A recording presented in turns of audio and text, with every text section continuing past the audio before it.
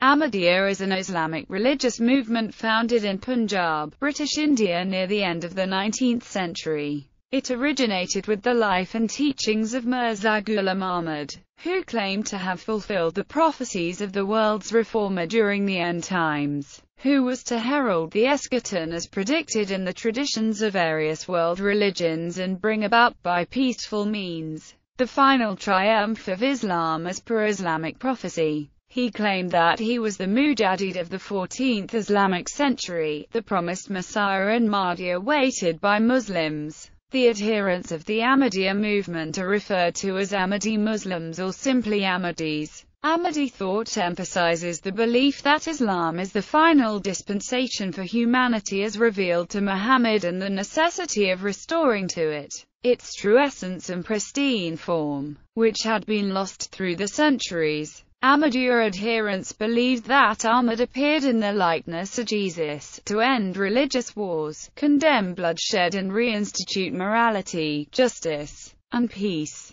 They believed that upon divine guidance he divested Islam of fanatical and innovative beliefs and practices by championing what is, in their view, Islam's true and essential teachings as practiced by Muhammad and the early Islamic community. Thus, Ahmadis view themselves as leading the revival and peaceful propagation of Islam. Mirza Ghulam Ahmad founded the movement on 23 March 1889 and termed it the Ahmadiyya Muslim Jamaat, sometimes translated as Ahmadiyya Muslim Community. Since his death, the community has been led by a number of caliphs and has expanded to over 200 countries and territories of the world. The Ahmadis were among the earliest Muslim communities to arrive in Britain and other Western countries. Currently, the community is led by its caliph, Mirza Masroor Ahmad, and is officially estimated to number between 10 and 20 million worldwide. The population is almost entirely contained in the single, highly organized and united movement. In this sense there is only one major branch. However, in the early history of the community, a number of Ahmadis broke away over the nature of Ahmad's prophethood and succession and formed the Lahore Ahmadiyya movement which today represents a small fraction of all Ahmadis. Some Ahmadiyya-specific beliefs have been thought of as opposed to contemporary mainstream Islamic thought since the movement's birth and some Ahmadis have subsequently faced persecution. Many Orthodox Muslims consider the Ahmadiyya either kafirs or heretics. Origin of name the Ahmadiyya movement was founded in 1889, but the name Ahmadiyya was not adopted until about a decade later. In a manifesto dated 4 November 1900, Mirza Ghulam Ahmad explained that the name did not refer to himself but to Ahmad the alternative name of Muhammad. According to him, Muhammad, which means the most praised one, refers to the glorious destiny, majesty and power of the Prophet who adopted the name from about the time of the Hegira, but Ahmad, an Arabic elative form which means highly praised, and also comforter, stands for the beauty of his sermons, for the qualities of tenderness, gentleness, humility, love and mercy displayed by Muhammad, and for the peace that he was destined to establish in the world through his teachings. According to Ahmad, these names thus refer to two aspects or phases of Islam, and in later times it was the latter aspect that commanded greater attention. The myriad distinguishing names adopted by various sects and schools of thought in Islam, he thus considered as innovations. For the Prophet of Islam had only these two names. Accordingly, in Ahmad's view, this was the reason that the Old Testament prophesied a messenger, like unto Moses, which referred to Muhammad, while according to the Quran, Jesus foretold a messenger named Ahmad. Quran 61-6 Ahmad also called it the Ahmadiyya Madhab, and it is permissible that this community also be referred to as Muslims of the Ahmadi way. Summary of beliefs Ahmadi beliefs are more aligned with the Sunni tradition than they are with the Shia tradition, such as the five pillars of Islam and the six articles of Islamic faith. Likewise, Ahmadis accept the Quran as their holy text, face the Kaaba during prayer, practice the Sunnah and accept the authority of hadiths. These are the central beliefs constituting Ahmadi Muslim thought. The distinguishing feature of the Ahmadiyya Muslim community is their belief in Mirza Ghulam Ahmad as the promised Messiah and Mahdi, as prophesied by the Islamic prophet Muhammad. Summarizing his claim, Ahmad writes, the task for which God has appointed me is that I should remove the malaise that afflicts the relationship between God and his creatures and restore the relationship of love and sincerity between him. Through the proclamation of truth and by putting an end to religious conflicts, I should bring about peace and manifest the divine verities that have become hidden from the eyes of the world. I am called upon to demonstrate spirituality which lies buried under egoistic darkness. It is for me to demonstrate by practice, and not by words alone, the divine powers which penetrate into a human being and are manifested through prayer or attention. Above all, it is my task to re-establish in people's hearts the eternal plant of the pure and shining unity of God which is free from every impurity of polytheism, and which has now completely disappeared. All this will be accomplished, not through my power, but through the power of the Almighty God, who is the God of heaven and earth. In keeping with this, he believed his objective was to defend and propagate Islam globally through peaceful means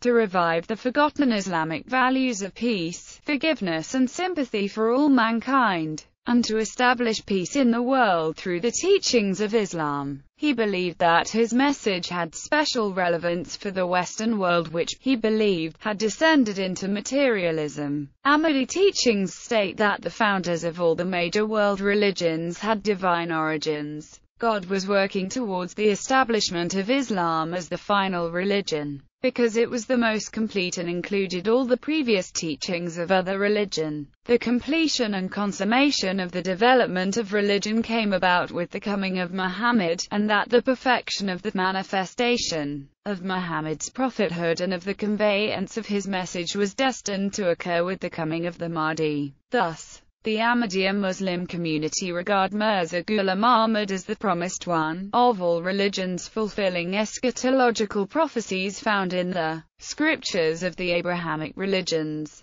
as well as Zoroastrianism, the Indian religions, Native American traditions and others. Ahmadi Muslims believe that Ahmad was divinely commissioned as a true reflection of Muhammad's prophethood to establish the unity of God and to remind mankind of their duties towards God and God's creation. Summarizing the Islamic faith, Ahmad writes, There are only two complete parts of faith.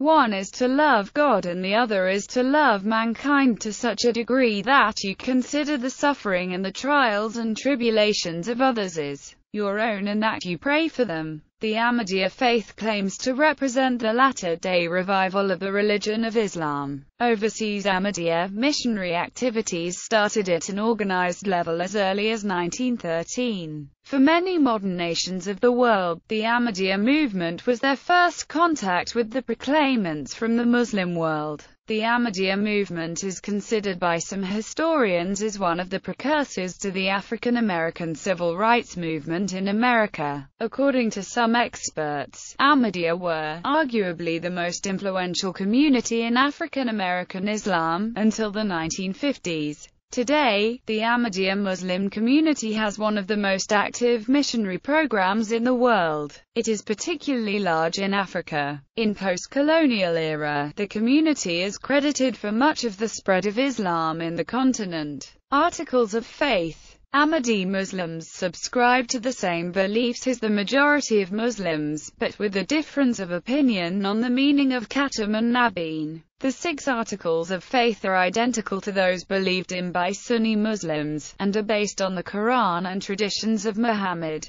Unity of God Ahmadi Muslims firmly believe in the absolute unity of God. Acknowledgement of this principle is the most important and the cardinal principle of Islam as interpreted by the community. All other Islamic beliefs spring from this belief. The belief in the unity of God is thought to influence a person's life in all its aspects and is believed to have much wider meaning and deeper applications. For example, elaborating on the oneness of God, the Quranic verse, there is no all-encompassing power except God, is believed to negate all forms of fear with the exception of the fear of God. It instills a sense of complete dependence on God and that every good emanates from Him. In general, the belief in unity of God is thought to liberate believers from all forms of carnal passions, slavery and perceptions of earthly imprisonment. The founder of the community writes, the unity of God is a light which illumines the heart only after the negation of all deities. Whether they belong to the inner world or the outer world, it permeates every particle of man's being. How can this be acquired without the aid of God and His messenger? The duty of man is only to bring death upon his ego and turn his back to devilish pride. He should not boast of his having been reared in the cradle of knowledge but should consider himself as if he were merely an ignorant person, and occupy himself in supplications. Then the light of unity will descend upon him from God and will bestow new life upon him. It is further believed that the Islamic concept of oneness of God inculcates the realization of the oneness of the human species and thus removes all impediments in this regard. The diversity of all human races, ethnicities and colors are considered worthy of acceptance. Moreover, it is thought that a belief in the unity of God creates a sense of absolute harmony between the Creator and the creation. It is understood that there can be no contradiction between the Word of God and work of God. Islam recognizes God as the fountainhead of all excellences, free from all imperfection as understood by the community. God is recognized as a living God who manifests himself everywhere and listens to the prayers of his servants. Distinctively, however, Ahmadi Muslims recognize that the attributes of God are eternal. On account of this, Ahmadi teachings propound the view that God communicates with mankind as he did before. Angels The belief in angels is fundamental to the Ahmadiyya Muslim community. They are spiritual beings created by God to obey Him and implement His commandments. Unlike human beings, angels have no free will and cannot act independently. Under God's command, they bring revelations to the prophets, bring punishment on the prophets' enemies, glorify God with his praise, and keep records of human beings' deeds. Angels are not visible to the physical eye. Yet, according to the Ahmadiyya Muslim community, they do sometimes appear to man in one form or another. This appearance, however, is not physical but a spiritual manifestation. Ahmadi Muslims regards angels as celestial beings who have their own entity as persons. The major role they play is the transmission of messages from God to human beings. According to the Quran, the entire material universe as well as the religious universe is governed by some spiritual powers, which are referred to as angels. Whatever they do is in complete submission to the will of God and the design that He created for things. According to Islam, as interpreted by Ahmadi Muslims, they cannot deviate from the set course or functions allocated to them, or from the overall plan of things made by God. Books for Ahmadi Muslims. The third article in Islam is concerned with the belief in all the divine scriptures is revealed by God to his prophets. This includes the Torah, the Gospel, the Psalms, the Scrolls of Abraham, and the Quran. Before the advent of Islam, the history of religion is understood as a series of dispensations where each messenger brought teachings suitable for the time and place. Thus, at the time of their inception, the divine teachings sent by God concurred in the fundamentals, with the exception of minor details that were chosen to complement the time and place. With the exception of the Quran, it is believed that the divine scriptures are susceptible to human interpolation. Islam recognizes that God sent his prophets to every nation and isolated communities of the world. Thus, according to the Ahmadi teachings, books outside of the Abrahamic tradition, such as the Vedas and Avesta are too considered as of being divine origin. Among the recognized books, the community believes that the Quran is the final divine scripture revealed by God to mankind. The teachings of the Quran are considered timeless prophets according to the Ahmadi Muslim view. The fourth article of faith in Islam is concerned with the belief in all divine prophets sent by God. Ahmadi Muslims believe that when the world is filled with unrighteousness and immorality, or when a specific part of the world displays these attributes, or when the followers of a certain law become corrupt or incorporate corrupted teachings into the faith,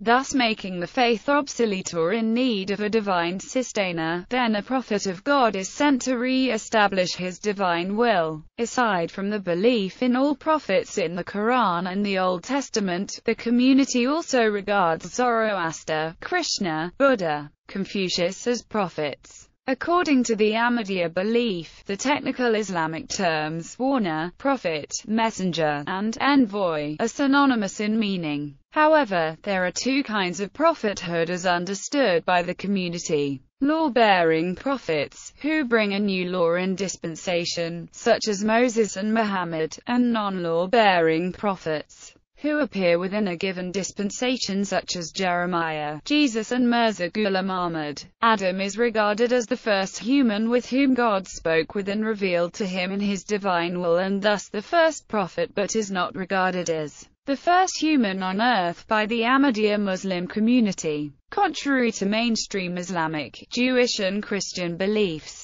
this view is based on the Quran itself. According to the Ahmadiyya Muslim community, Ahmadis believe Muhammad to be the final law-bearing prophet but teach the continuity of prophethood. Day of Judgment The fifth article of faith relates to the Day of Judgment. According to the Ahmadis, after belief in one God, belief in the Day of Judgment is the most emphasized doctrine mentioned in the Quran. According to Ahmadi Muslim beliefs, the entire universe will come to an end on the Day of Judgment, a position also taken by all other Islamic sects and schools of thought. The dead will be resurrected and accounts will be taken of their deeds. People with good records will enter into heaven while those with bad records will be thrown into hell. Hell is understood by Ahmadiyya as a temporary abode lasting an extremely long time and not everlasting. Much like in mainstream Judaism and the views taken by Islamic scholars of antiquity such as Ibn Taymiyyah and Ibn Arabi.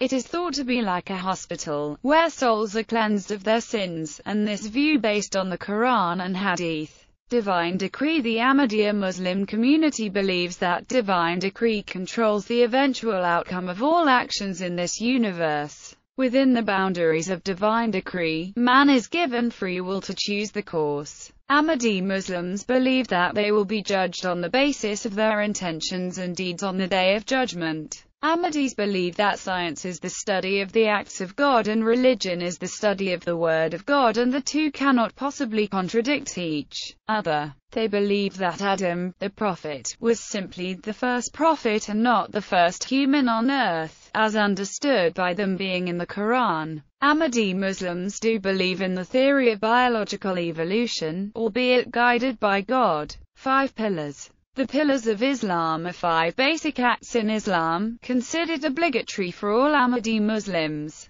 The Quran presents them as a framework for worship and a sign of commitment to the faith. They are the Shahada, daily prayers, almsgiving, fasting during Ramadan and the pilgrimage to Mecca at least once in a lifetime. Ahmadi Muslims agree with both Shia and Sunni sects on the essential details for the performance of these acts. However, in Pakistan Ahmadi Muslims are prohibited by law, and to some extent in other Muslim countries by persecution, from self-identifying as Muslims. This creates some level of difficulty in performing the obligatory acts. Although Ahmadi Muslims from some countries do perform the pilgrimage to Mecca, they are not technically allowed under Saudi law.